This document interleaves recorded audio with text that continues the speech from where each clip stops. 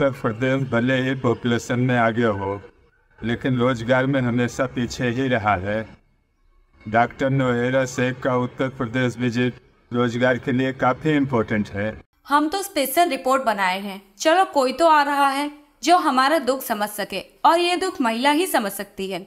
हमें तो डॉक्टर नोहेरा शेख के उत्तर प्रदेश दौरा का काफ़ी इंतज़ार है। देखो भैया भले एम रूलिंग में नहीं है लेकिन उन्होंने जो समाज सेवा और काम की है आम जनता के लिए, वो तारीफ़ के लायक है। और इस बार national M president doctor Novera Sheikh का आना अपने आप में न्यू अपर होगा हम सब के लिए। पॉपुलेशन इतना ज़्यादा होने के कारण उत्तर प्रदेश जो हेल्थ समस्या से जूझ रहा है, वो चिंता का विषय है। महिला एम्पावरमेंट पार्टी से काफ़ी उम्मीद है। क्यों ना हो? खुद पार्टी की प्रेसिडेंट एक महिला है तो वो ज़रूर हमारा दुख समझेंगी।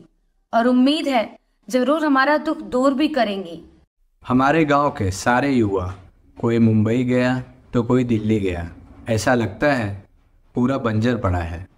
अभी सुना है डॉक्टर नवेरा शेख आ रही है। उनसे तो हमारी काफ़ी उम्मीद है। डॉक्टर नोहरा शेख जी से हम यूपी वालों को बहुत उम्मीद है देखते हैं हमें उनका इंतज़ार है। देखिए, यूपी किसी न किसी मामले में देश में हमेशा सुर्खियों में रहा।